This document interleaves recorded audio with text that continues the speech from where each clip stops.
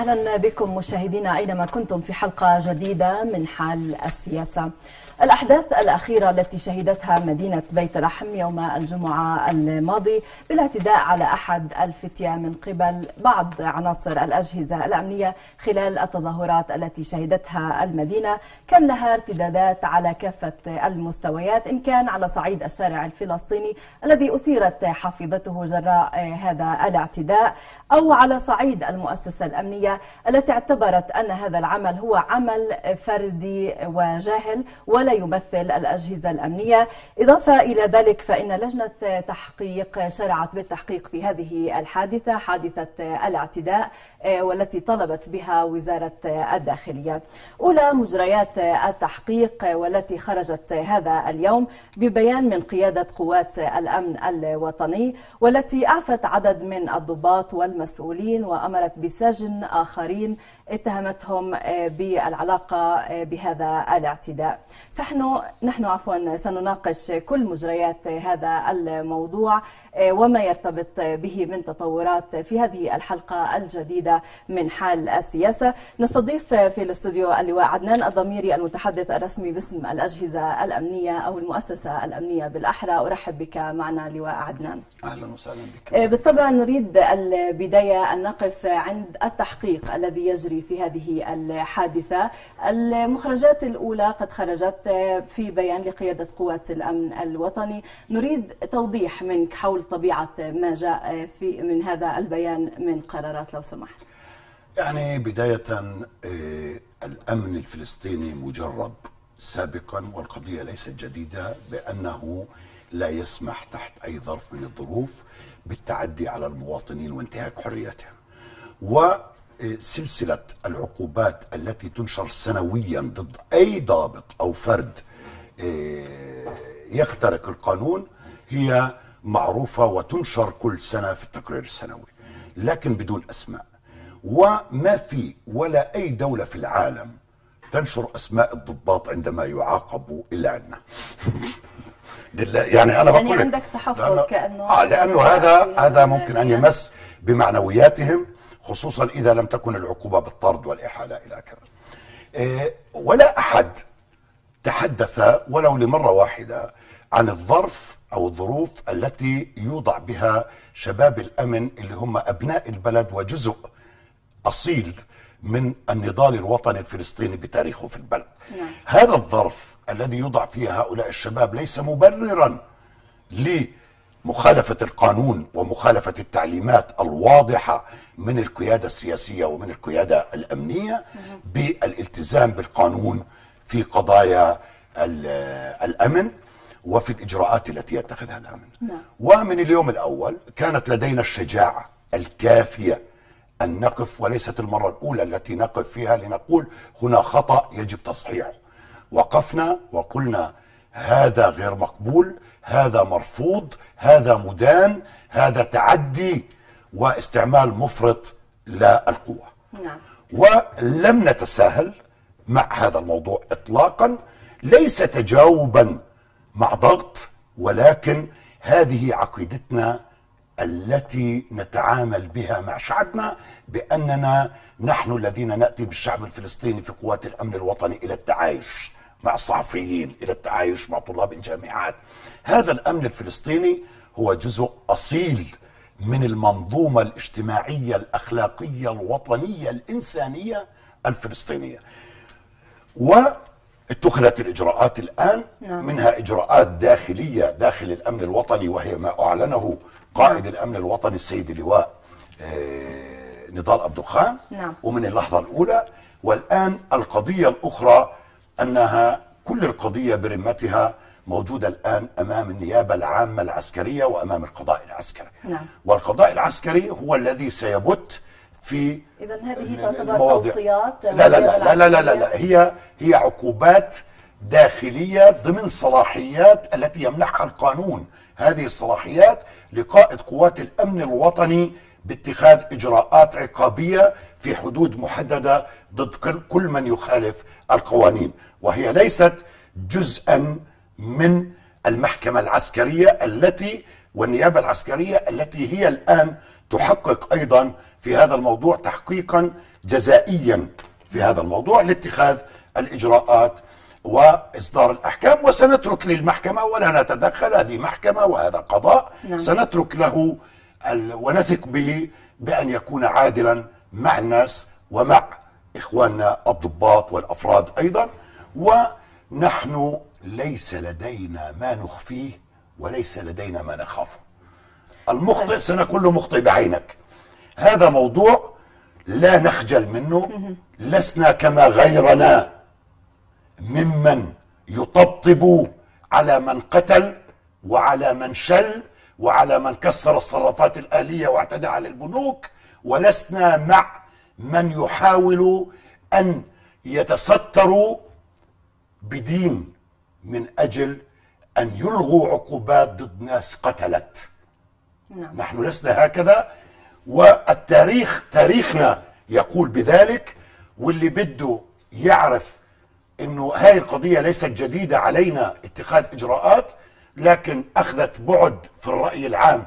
كان لابد من إعلان إجراءات. لأن الرأي العام أيضا ينتظر ذلك. هي إجراءاتنا الأولية وهي إجراءات انضباطية وهي إجراءات داخلية عقابية من صلاحيات قائد القوات اتخذها بقي لدينا المحكمة العسكرية التي ستبت قطعيا في هذا الموضوع. نعم طيب آه، يعني أنت آه، ترى أنه حسب آه، المخرجات الأولية من هذا البيان وما جاء به من قرارات هل هذا أيضا يمهد إلى قرارات أخرى إضافة إلى الأجهزة الأمنية الأخرى وخاصة أنه كان عناصر عدا عن الأمن الوطني يعني يعني أنا سألت سألت. سألت الشرطة هما كان الموضوع يتعلق بالشرطة والأمن الوطني بالشرطة الخاصة والأمن الوطني وبكل شفافية الشرطة الموضوع الآن أمام القضاء معروضا. أمام القضاء وال وال والإجراءات القضائية والعقوبة القضائية التي سيصدرها القضاء بالتأكيد هي ملزمة لقيادة الشرطة وملزمة لنا جميعا الآن هذا الموضوع. وممكن أن يكون إجراءات آه، تأديبية داخلية اتخذت لا أعرف حتى الآن القليلة في هذا الموضوع. ال- الموضوع الآخر اللي آه، يعني بعض ال- ال- الناس بتعتقد أن تمر عليه مر الكرام. أنا أريد هنا يعني بكل محبة وبكل شفافية أن أخاطب أبناء شعبنا وخصوصا السياسيين منهم أن الأمن لا يصنع سياسة. الأمن ينفذ سياسة. الأمن لا يشرع قانون. الأمن ينفذ قانون. ما نفذه أبناءكم تاريخيا من مهمات أوكلت لهم هم لم يصنعوا سياسة ولكنهم نفذوا تعليمات المستوى السياسي. يعني من أنت قيادات تقصد من ما, قيادات ما أحزاب تم هو بناء على وهذا على الهجوم تنفيذ وهذا آه، الهجوم وهذا الهجوم لا لا لا أنا بح- بحكيش ما تم من اعتداء أو من آه، أخطاء يتحمل مسؤوليتها من قام بالخطأ. وليس الهجوم على الأمن الفلسطيني واتهامه بالتعميم. لا نقول أن هذا عمل فردي كما قلنا نحن. ولا يتحمل وزره لا القيادة السياسية ولا القيادة الأمنية العمل الفردي تتحمل وزره.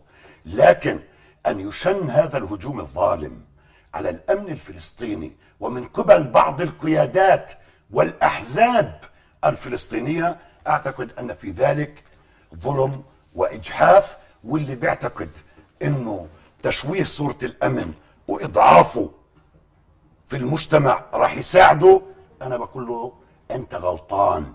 هذه مقدمة الهجوم على الأمن وتشويه صورته وإضعافه في الرأي العام. هذه مقدمة للفوضى ومقدمة للفلتان وأنتم كمن ينتحر ويذبح نفسه بإيده. هؤلاء أبنائكم اللي دائما تطلبوهم وقت الحاجة وتجدوهم لا تتعاملوا بالتعميم تعاملوا بالتخصيص أن الخطأ الذي حصل اولا هو ليس اتجاه أو ليس سياسة أو ليس توجه لا لدى المستوى السياسي ولا لدى المستوى الأمني. ما حصل من خطأ هو خطأ فردي يتحمل مسؤوليته من قام به ومن خالف القانون والتعليمات. هذا باختصار. أما أن تسحب الأمور بطريقة من يصفنا بالجستابو ومن هذا باعتقادي مجافي للحقائق وعيب.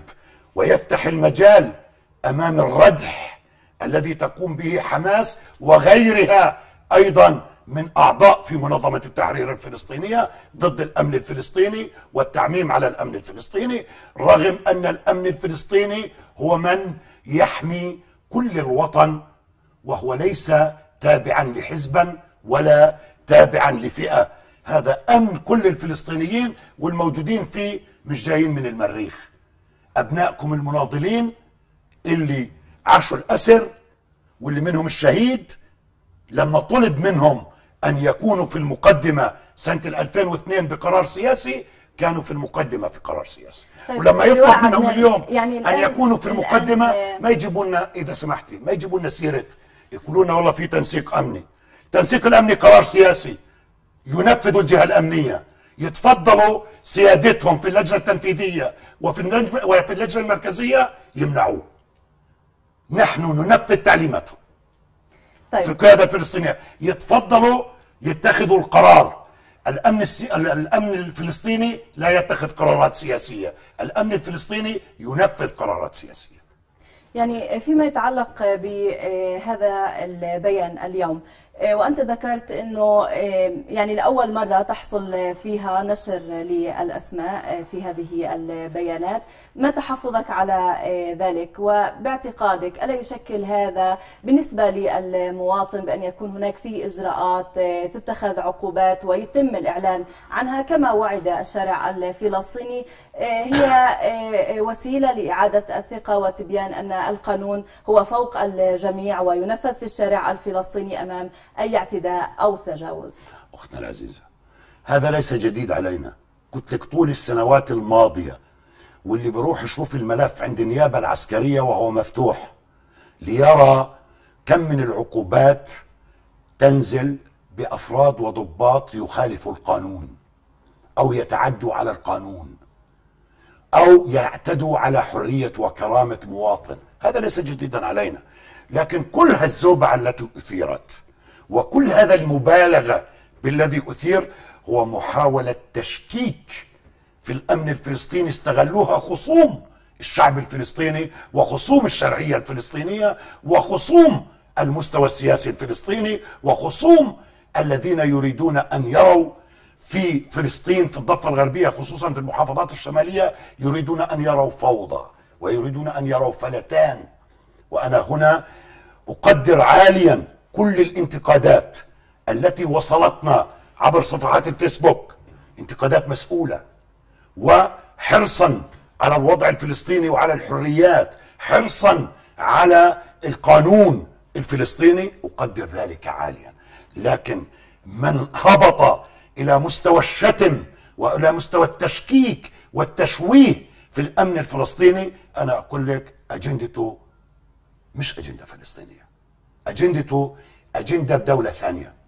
واجندته نفس أجندة الاحتلال الذي لا يتوانى أيضا في أن يرسم صورة في مخيم جنين عبر القناة الثانية بأن هناك حرب ومعركة دائرة بين قوات الأمن الفلسطيني ومسلحين فلسطينيين. ما ما ما نخبي رؤوسنا كما نحن لدينا شفافية في أن نقدم أخطائنا ونقول هذه أخطاء ونحاسب عليها أيضا لدينا الشجاعة والجرأة الكافية لأن نقول للزعماء ورؤساء الأحزاب الفلسطينية اخرجوا عن صمتكم دافعوا عن عماد المقدم الحج عماد قاسم الذي هو أحد أبطال معركة جنين. لم نسمع أحد منهم تكلم بكلمة. هو الآن بين الحياة والموت في المستشفى أطلقت عليه النار في رأسه. لم نسمع أحدا منهم ليقول هؤلاء إخوانكم وما بصير إطلاق النار عليهم. هذا الموضوع نحن في قوات الأمن الفلسطينية. لن نتخلى عن واجباتنا في حماية بلدنا ولا في حماية وطننا ولا في تنفيذ تعليمات المستوى السياسي. إحنا مش جهة بديلة للمستوى السياسي ولا جهة رايحين باتجاه انقلاب. لكن على الإخوة التنظيميين وأصحاب وقادة الأحزاب ومسؤولي التنظيمات وأعضاء مكاتب سياسي وأعضاء اللجان المركزية وأعضاء كل عليهم أن يعرفوا أن تشويه وإهارة الأمن الفلسطيني سينهاروا هم أول ناس سينهاروا. وتجربة غزة هم يدركوها جيدا. ما حدا يشتغل لنا انتخابات على حساب الأمن. ما حدا يعمل دعايه يعني انتخابيه لماذا تعتبر لماذا تعتبر إنه آه، آه، يعني آه، نضع هذه المسألة في إطار مثلا التخوين للمؤسسة الأمنية لماذا كتبوه. لا نضعها في إطار إنه؟ حادث أنا- وقع أنا بحكيش ما كتبوه. متابعة يعني بتهمنا- الحادث وتصحيح يا ستي للخطأ يا ستي لما يقعدوا قادة حماس على التلفزيونات ويقولوا هاي خيانة وهذه ولا الناس بتسمعش وهذه جزء من التنسيق الأمني الاعتداء على الطفل هذا وهذه جزء من كذا وجزء من كذا. ولا نجد مسؤول حزب فلسطيني يقول لا يا إخوان هذول قواتنا. أخطأ فيهم واحد اثنين سيحاسب الذين أخطأوا وهم يستطيعوا أن يضعوها على طاولة القيادة أيضا. لمراجعة الأمن طيب ما هي الفلسطيني. ما هي التعليمات عادة سيد عدنان التي تعطى للأجهزة والعناصر الأمنية آه، في آه، مثل هذه آه، الأحوال في المظاهرات؟ ما هي التعليمات التي تعطى وتم خرقها في حادث بيت لحم؟ يعني هناك مدونة سلوك صادرة عن وزارة الداخلية وساهم في إنتاجها ال- منظمات حقوق الإنسان زائد وزارة الداخلية. اللي هي مدونة السلوك لرجل الأمن. السلوك في إطلاق النار السلوك في الدفاع عن النفس كل كل كل ما يتعلق في هذا السلوك. الإخوة الذين ضربوا الولد لا هم تجاوزوا التعليمات في مدونة السلوك للضباط والأفراد في الأمن الفلسطيني. واضح. قضية. ما دام تجاوزوا القانون وتجاوزوا ال- ها- إحنا موقعين على كل الدولة الفلسطينية السيد الرئيس القائد الأعلى لقوى الأمن الفلسطينية وقع على كل ال- ال- المواثيق الدولية التي تحترم حقوق الإنسان. لا يجوز لأحد أن ينتهك. ومن ينتهك سيحاسب في إطار القانون. لكن مش في إطار الردح الإعلامي. وما في حدا بيتعاقب على جريمة مرتين. يعني حتى المجرم ما بتعاقب على جريمة مرتين. الآن مش في إطار الردح الإعلامي ولا في إطار التخوين ولا في إطار التعميم لما حدث ولا في إطار إخراج مظاهرات ضد الأمن الفلسطيني. هذا الم... والتحريض على إخراج الناس ضد الأمن الفلسطيني من على فضائيات حماس وفضائيات غير حماس. أنا أقول لك بوضوح هذا الأمن الفلسطيني هو صمام الأمان لعدم وجود حالة فوضى فلسطينية. لعدم وجود انقلاب لعدم وجود خاوات وأتوات لعدم وجود مخدرات لعدم وجود حرب أهلية. أكيد. وهو الضامن هو الضامن هو. الضامن لهذا ولكن ولكن على نبقى في سياق هذه القضية. لواء آه، عدنان وهنا أنقل لك أيضا آم، الأحاديث التي آه، يتم الحديث فيها بالشارع الفلسطيني. يعني لماذا تتدخل الأجهزة الأمنية في المظاهرات؟ وخاصة أصلا هذه المظاهرات أجت آه، حماية للأقصى والقدس وإحتقان في الشارع الفلسطيني. فلماذا يكون هناك أجهزة آه، أمنية تتدخل وتقمع المواطنين وتمنعهم من أن يكونوا في الميدان؟ هسه بدنا نميز كلمة تقمع أنا بتحفظ عليها. بناء على ما حصل من هذا الأمنية لا المشهد تقمع. حصل مشهد في عمل فردي.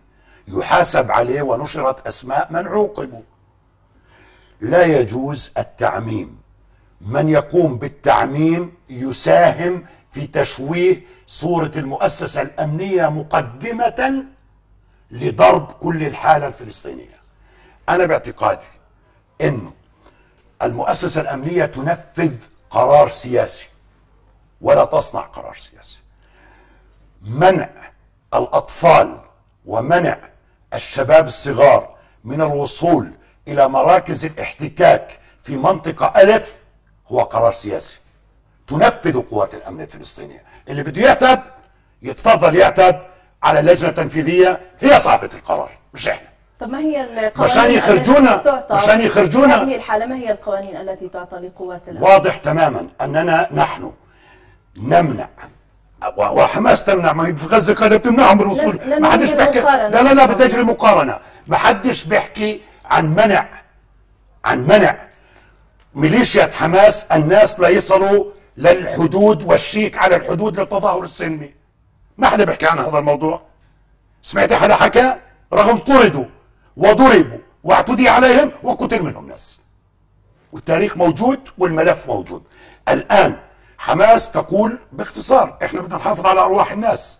أوكي طب ما إحنا بنقول لكم إحنا بدنا نحافظ على أرواح شباب صغار يصلوا إلى حاجز احتلالي والحاجز الاحتلالي لديه تعليمات بالقتل.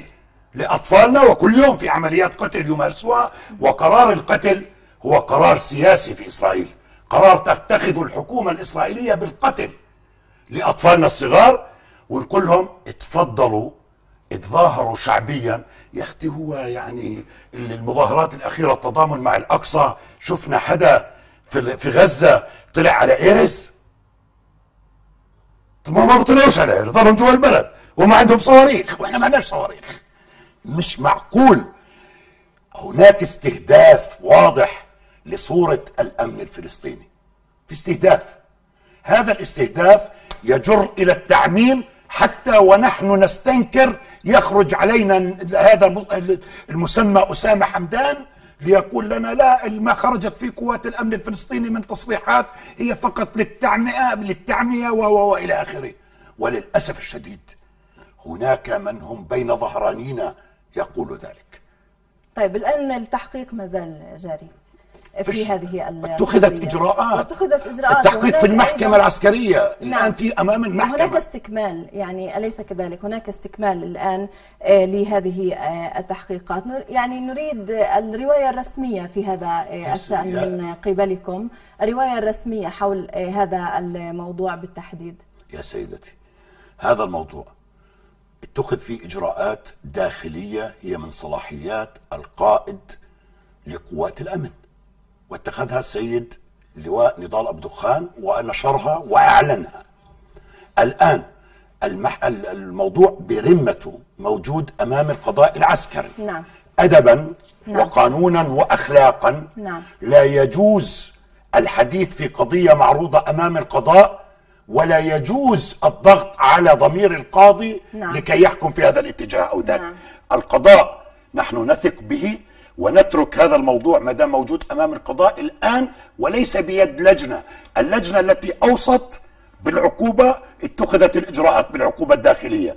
الآن الموضوع الموجود أمام القضاء العسكري هو موضوع قضائي سيحاسب عليه من ارتكب خطأ أو من ارتكب جريمة محاسبة. طبعا نعم إذا المحاسبة قدام الناس بسجن ثلاثة أشهر وباستيداع إحالتهم للاستيداع وبسجن ثلاث شهور وبعد الناس يعني بتحكي عن عقوبات. لا والان طب شو يعني راح يتعلق راح يتعلق آه، مشانق يعني مثلا الحمد لله ما فيش عندنا آه، حدث الضحايا أو قتل أو موت. الآن وفق القانون وفق يعني بالتاكيد فوفق القانون سيكون هو هذا ما نقول هذا ما نقول فيه. إما أن نثق بالقانون ونثق في بعضنا البعض. أنا قلت لك الإخوة وضباط عندنا بجرح كانوا يقول لك هؤلاء إخواننا اخطاوا ويجب أن يحاسبوا إخواننا اخطاوا ويجب أن يحاسبوا وأنا كنت مع ذلك وقلت على التلفزيونات كلها وبالإعلام قلت هذا خطأ وستتم محاسبة والمحاسبة قادمة. الآن أنا لا أتحدث عن هذا. أنا أتحدث عن من؟ متعمدين مع سبق الإصرار والترصد. يحاول تشويه صورة الأمن الفلسطيني وتخوينه وتكفيره وشيطنته. للأسف الشديد هؤلاء لا يعرفوا بأنهم أكثر ناس سيمسوا في حالة الفلتان وفي حالة الفوضى. وأن لن يكونوا في مأمن من الفالتين والفوضويين ولن يكونوا في مأمن على ممتلكاتهم وأرواحهم وأعراضهم. الشعب الفلسطيني مجرب أنت مما تتخوف يعني عندما تتحدث أنا في هذا أنا أتحدث عن موضوع إنه موضوع التعميم على الأمن الفلسطيني بتشويه صورته وضرب معنوياته لا تجوز من أي وطني حتى لو خالف القيادة السياسية الراي يجب أن يحيد الأمن من التجاذبات السياسية. يجب أن يحيد الأمن من الاختلافات السياسية. الأمن ليس جهة سياسية. الأمن جهة أمنية تعمل وفق القانون. لا تصنع سياسة ولا تشرع قانونا. تنفذ سياسة وتنفذ قانونا. اللي له انتقاد يروح على القيادة السياسية ينتقد في القيادة السياسية. الأمن عندما يصبح هو صاحب القرار السياسي لا يكون هناك استقرار سياسي. طيب يعني يضاف إلى ذلك يعني أنت إعلامي أيضا وتتابع رأي الشارع الفلسطيني في هذه الحادثة وكان مطلوب إنه يكون في إعلان لهذه العقوبات ليش هم يعني إحنا بنشتغل بالر... لأنه هناك. يحتاج المواطن حتى إلى خطاب أيضا يقنعه. يحتاج المواطن إلى إعادة الثقة إن تزعزعت بالامن الوطني. وهو مطل... الأمن بشكل عام وهو مطلوب أليس كذلك؟ الر... والضباط القانونيين والذين ينفذوا القانون هم لا يعملوا لإرضاء الرأي العام يعملوا لإنفاذ القانون. العمل في إرضاء الرأي العام والتعاون معه هو في اتجاه آخر داخل قوى الأمن في العلاقات الطيبة مع المواطن تجنيد المو... الجنود لخدمة المواطنين في مواسم قطف الزيتون اللي جاي علينا الموسم في كل أعماله. في ترميم بيوتهم كما يفعل الأمن الوطني. إحنا اسمع لنا سنوات بنعمل مع المواطنين على تقريب المواطن من رجل الأمن كأخوة. الآن ما حصل هو جرح هذه الثقة وما حصل من عمل فردي في بيت لحم وليس عمل يشكل توجها أو يشكل سياسة للأمن الفلسطيني. لست مع إنه الأمن يصير يشتغل كمان انتخابات ورأي عام يعني بدنا الشعب والله ينتخبنا إحنا بننزلش انتخابات في الأمن. فالسياسيين هم اللي بيروحوا على الانتخابات. إحنا ما بنشتغلش دعاية بنشتغل قانون. ما دام بنشتغل قانون من يخالف القانون سيطبق عليه القانون سواء كان مدنيا أو سواء كان عسكريا. لا يوجد حصانة لا لعسكري ولا لمدني عندما يخترق القانون. هذه القاعدة الأساسية التي تبني مجتمع والتي تبني عدالة. أما قاعدة أنه ما هو يعني هذا الجانب طلعوا الناس وقالوا طب ليقولوا الناس آرائهم وهي حرية مسموحة. لكن ليس بالضرورة أن أخالف القانون من أجل أن أرضي الناس. يعني أنت لا يجوز. أنت تتحدث في نفس الوقت تقول أنه يجب إنفاذ القانون هذا خطأ وهذا عمل فردي وبالمقابل لديك أيضا تحفظات على القرارات التي اتخذت.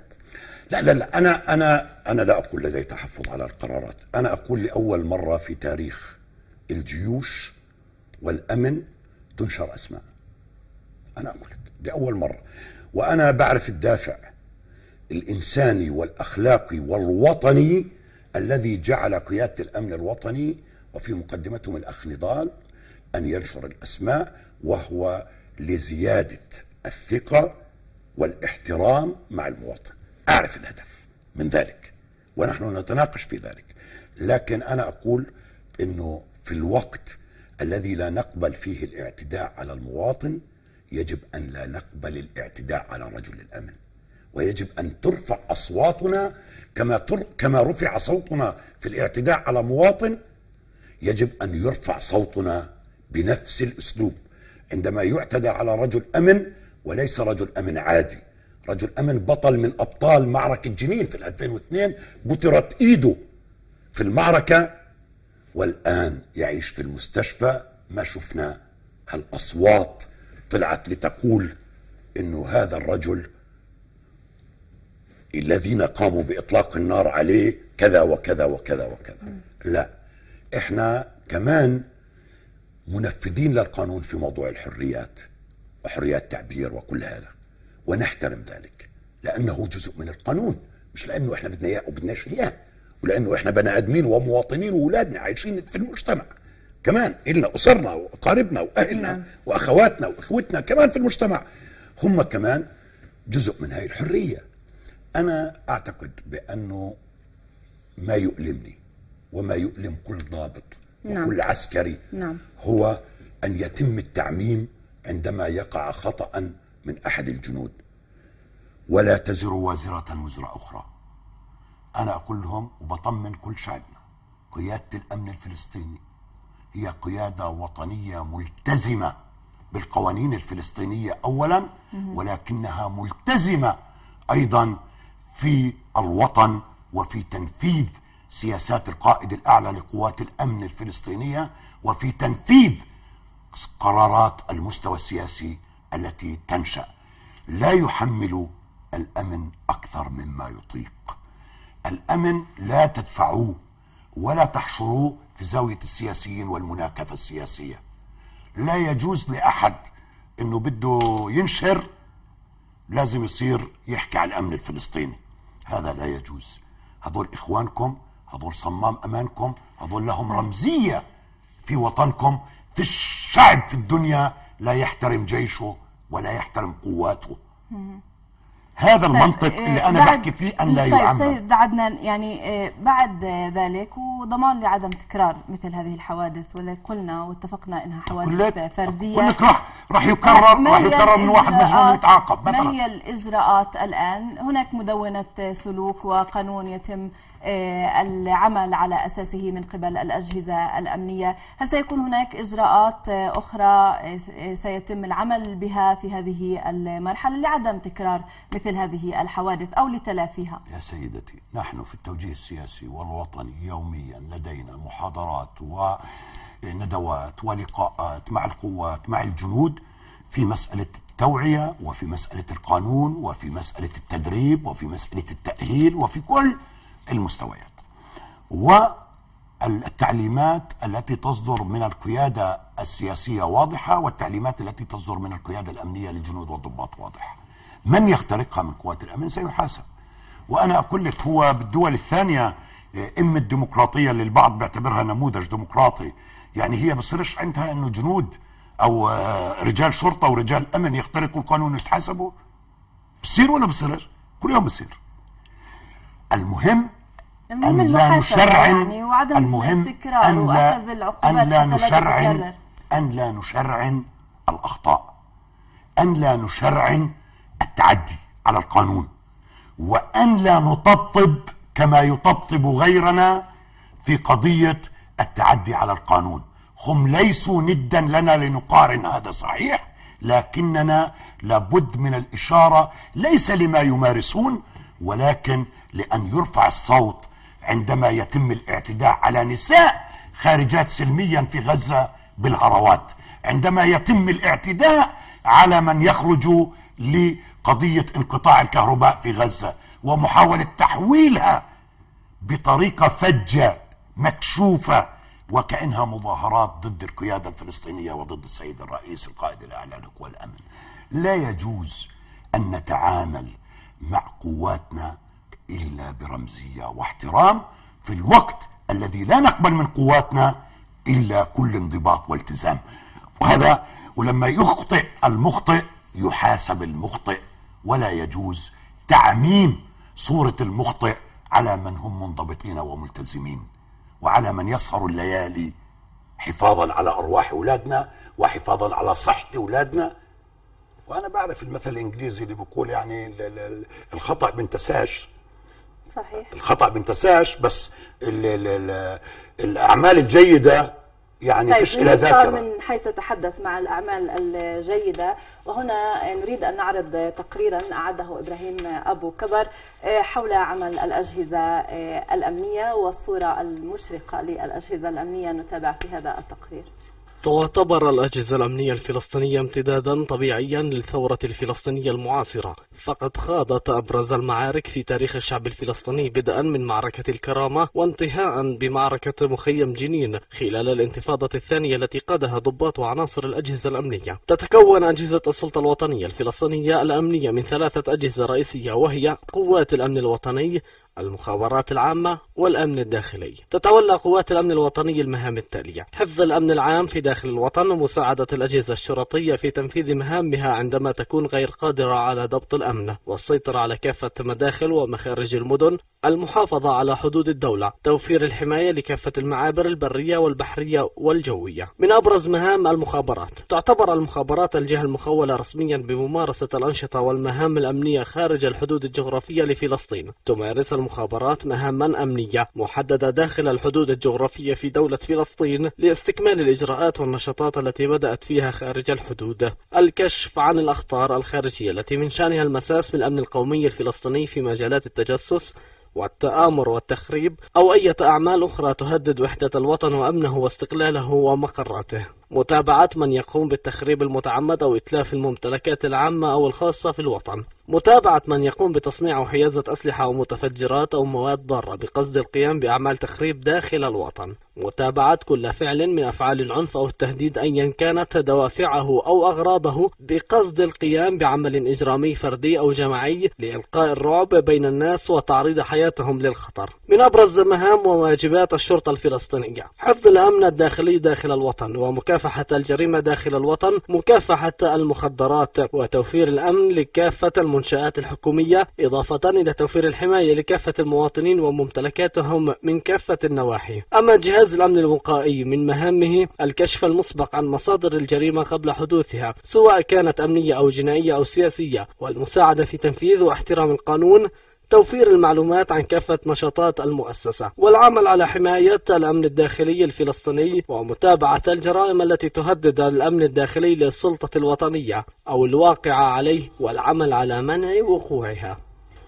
نتابع مشاهدينا وإياكم في حال السياسة وما تبقى لنا آه، من وقت نناقشه مع اللواء عدنان آه، الضميري. آه، سيد عدنان أيضا أريد أن أشير إلى ما حدث في مخيم جنين في الآونة الأخيرة وهناك لغط أيضا في الصورة التي تم نشرها نريد منكم توضيح لهذه الأحداث التي حصلت مؤخرا في المخيم. إيه، وما الرواية الرسمية هنا التي يمكن الحديث عنها؟ يعني بالرغم من أنه تحدثنا في حينه عن هذا الموضوع الموضوع لم يكن لقوات الأمن الفلسطينية في ما حدث في مخيم جنين أي اشتراك أو أي وليس جزءا من المشكلة هي جاءت تحل مشكلة.